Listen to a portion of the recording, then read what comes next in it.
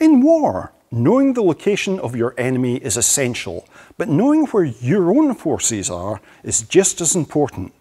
During the Battle of Britain, incoming aircraft could be tracked by radar as they approached the coastline. Once over the land, the Observer Corps could follow their progress either visually or by sound if there was cloud cover. So how would you know where your fighter aircraft were, given that the chain home radar system only looked out to sea and the observer corps plots could be approximations?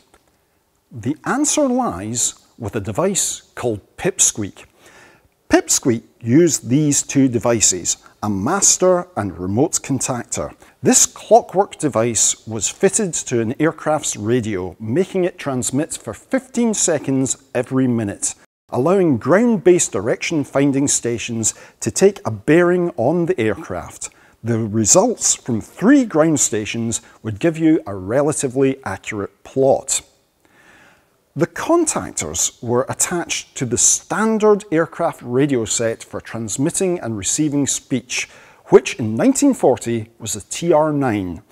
What we have here is a TR-9J fitted to Coastal Command aircraft, but Fighter Commands were equipped with the outwardly identical TR-9D, which, in a Spitfire, would be located in the middle of the fuselage underneath this hatch. The TR-9 was one of the weak points in the RAF's defensive system. First produced in the early 1930s, by 1940 it was showing its limitations. It used the same increasingly crowded high-frequency bands as domestic radios. It had limited range and was prone to interference. A much better VHF very high frequency radio, the TR-1133, was available and had been used operationally by the time of the Battle of Britain, but there weren't enough of them to equip every squadron.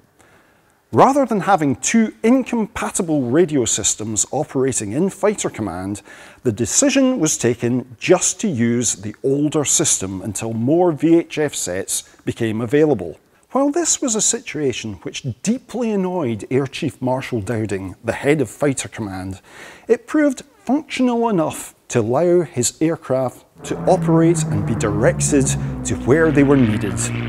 If you'd like to find out more about the Battle of Britain, why not visit the Royal Air Force Museum?